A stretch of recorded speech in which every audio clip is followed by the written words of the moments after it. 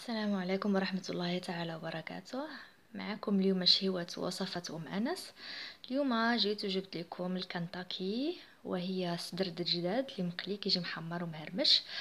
المهم غنخليكم دابا مع المقادير وفرجة ممتعة. بالنسبة للدجاج ديال الكنتاكي غادي نحتاجو صدر دجاج. أنا عندي هنايا كيلو. أنا غنوريكم الطريقة ديال التقطيع ديالو. كيتقطع رقيق وصغير. وديك الساعة كنفندوه في الطحين. أنا غنوريكم الطريقة ديك الساعات ديال الطحين كيف غنعملو له التوابل.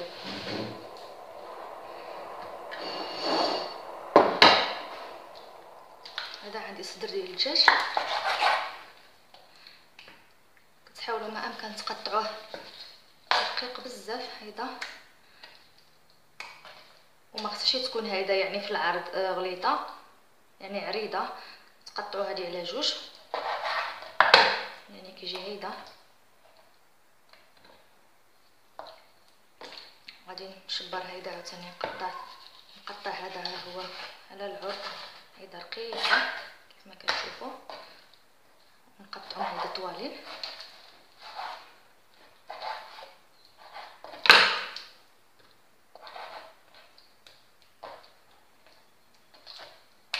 هذه ديجا عندي هي رقيقة نعمل هيدا رقاقين باش ملي كت ماشي رقاقين بزاف يعني عادي باش ملي كتجيو تقليوهم في الزيت ما كيبقاوش يخضر من داخل ها هو السمك ديالها كيف عامل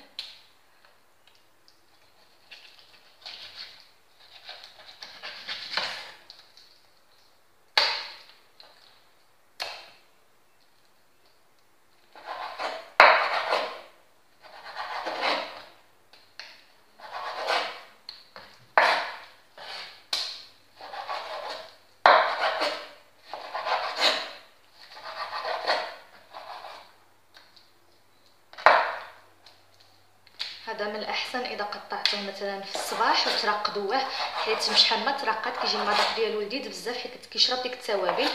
المهم أنا غادي نبقى على هاد الطريقة تنكمل السدر الدجاج ديالي كامل نقطعوه وديك الساعة نوريكم آه، فاش غادي نراقدوه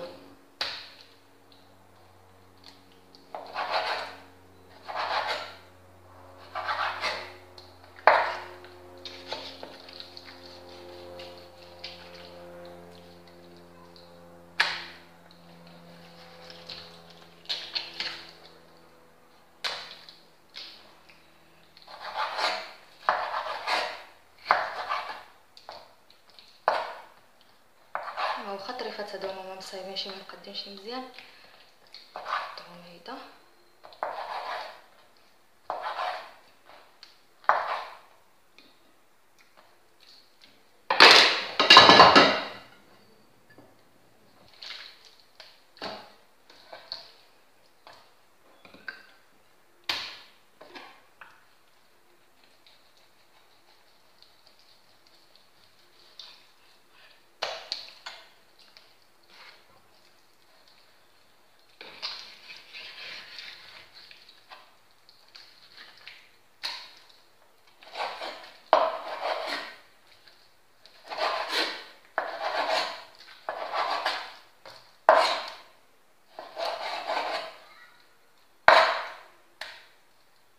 صافي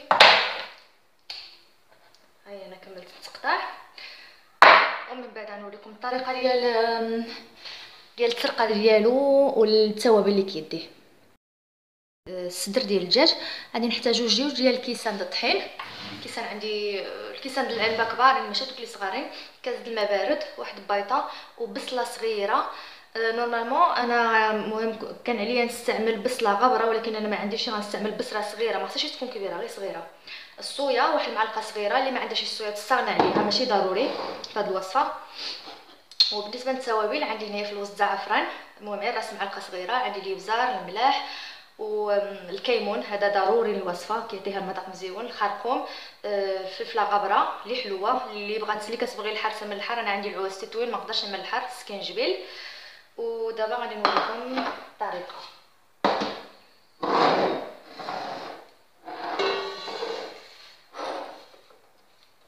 غادي نشبر الطحين هو الأول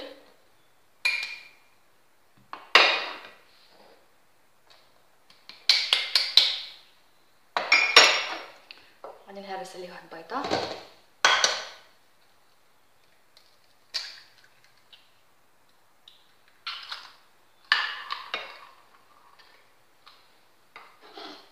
غادي نعول التوابل في دقة واحدة. كلشي.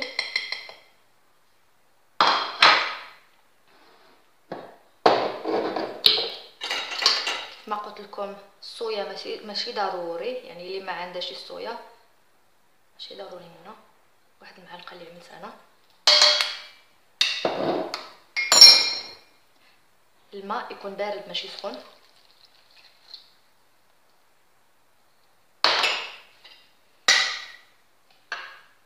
الحاجة أخرى نسيت اسمحوا لي. آه، التومه غابرة. اللي ما عندهاش التومه غابرة آه، تعمل واحد الدرسة ولا جوج ديال الدروس د التوم أنا غادي نعمل التومه غابرة حيت بحال بحال. ها هي معلقة. غنبدا نخلط. هذا هو.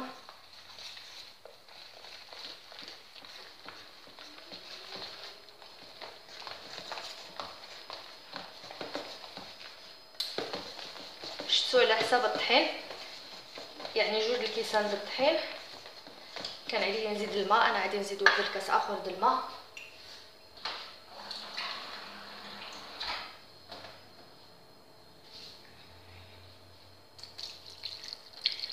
مهم عندكم ميزانكم ما خصهاش تكون خفيفة بزاف. حيت اذا كانت خفيفة آه، ديك الجداد ما غادي يشبرش فيها ما تشبرش فيها هذه القامه هي يعني ملي كتعمل فيها هيدا الصدر ديال الدجاج خصها تلبسها من برا ما يقطرش ملي تهزو تقليه ما يقطرش.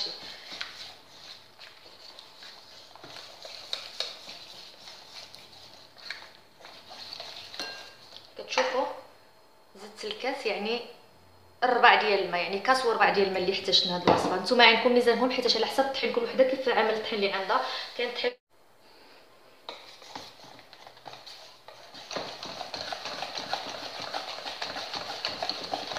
تكون تحركوا مزيان تخلطوه مزيان باش ما يبقاوش فيه الكواور د الطحين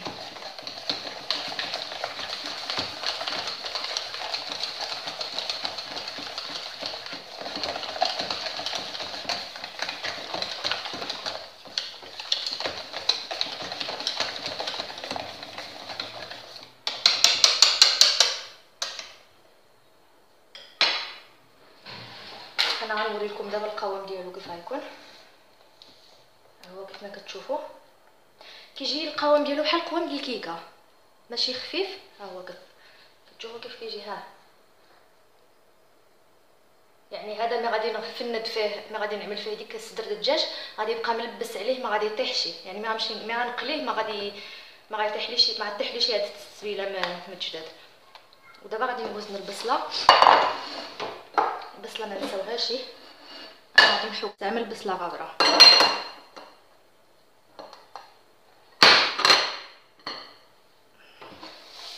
هاي أنا غادي نزيدها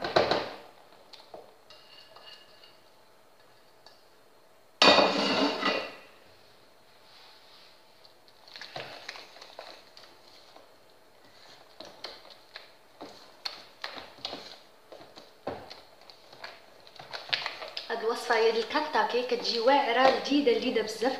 كتجي مقرمشة وش غنقول لكم كتعجب حتى العويتقين هو طبعا حتى الناس كبار ماشي غير العويتقين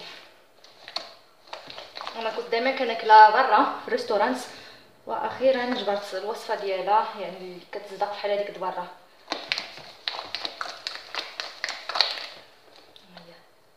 الطحين هو فيه التوابل فيه البصلة فيه معلقة الصويا الملاح الابزار الثومه والى اخره نتوما شفتوا معايا شنو استعملت فيه كلشي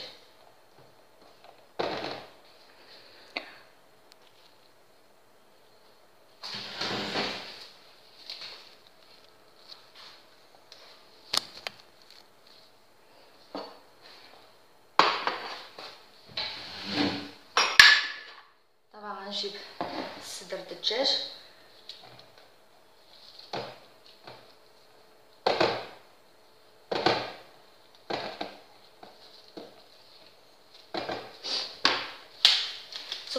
اذا مثلا كنتو غتعملوها الغدا غادي تشبروا في الصباح ملي تنوضوا تقطعوا الجداد وتراقدوه من الأحسن. تراقدوه قبل يعني قبل بهيدا جوج ثلاثة السوايع. باش كيشرب. ها هو كيف ما قلت لكم شوف القوام ديالو ملي كنعدل فيه مثلا صدر دجاج ياك؟ شوف كيف كيبقى.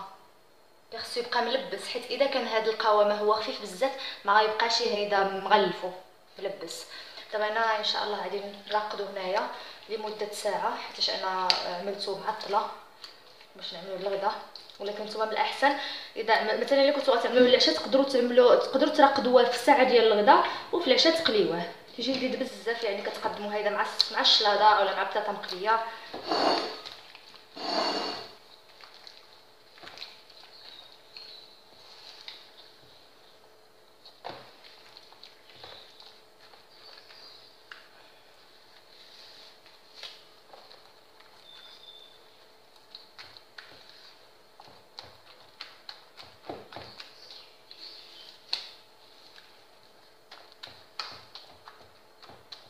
صافي أنا غادي نعملو غنعملو بابي أه سميتو البلاستيك الغذائي. غادي ندخلو للثلاجه واحد الساعة حتى تدخل فيه هاد القامه هي وهاد التوابل. وديك الساعة تك نوريكم الطريقة ديال التسنيد ديالو وطريقه القلي. أنا من بعد ما صبرت على الكنطاكي ديالي يعني صدرت جداد آه، ساعة ياك؟ normalement نتوما تقدروا تصبروا عليه ما أكثر إلا كان عندكم الوقت. أنا عندي عملت هنايا الطحين في التبصيل.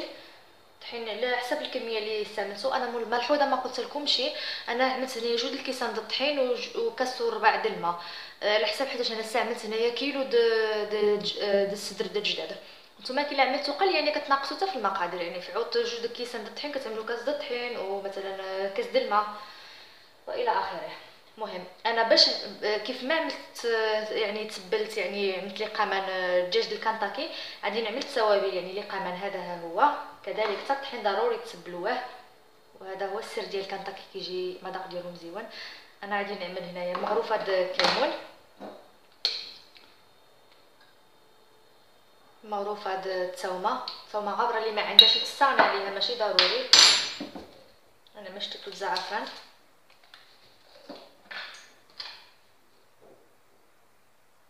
مغروفه فلفله حمراء اللي كتبغي الحار تقدر تعمل تستعمل حتى الحار. مغروفه السكنجبيل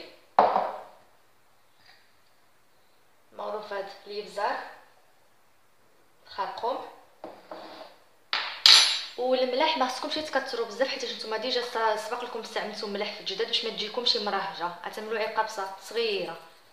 صافي. يتخلط هادشي مع بعضيتو. أنا عملت الزيت سخون.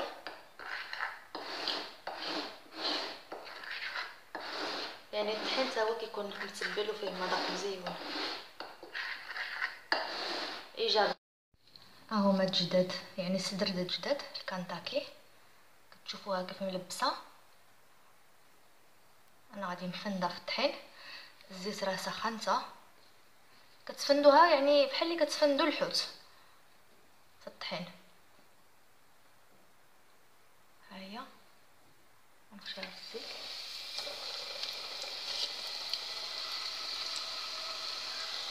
وغادي نبقى هيدا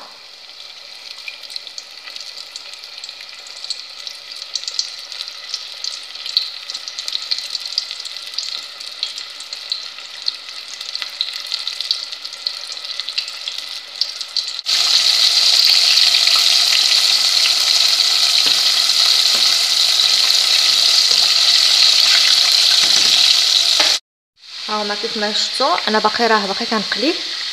كتجي مقرمشة ولذيذة. وطايبة من داخل. كتشوفوها باقي سخونة.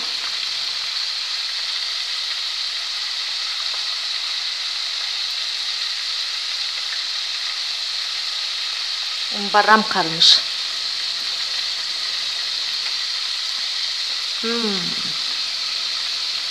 هذا هو الدجاج الكنتاكي من بعد ما ما كمل طبق التقديم هذا هو الطبق النهائي. كيجي لذيذ لذيذ لذيذ بزاف كيجي رطيب من داخل ومقرمش من برا يا سلام. المهم عي جربوه ردوا عليا ما غتندموش إذا جربتوه تقدروا ترافقوه بالشلاضة كيف ما عملت أنا هيدا بالخيار والطوماطيش اولا تقدروا تاكلوا معاه البطاطا ولا أي حاجة يعني كيف رغبوا كيف ما تشهيتوا المهم كيف العادة باش يوصلكم كل جديد للقناه ديالي اشتركوا عبر قناتي. ودعموني باللايكات. وإلى الفرصة القادمة إن شاء الله. والسلام عليكم.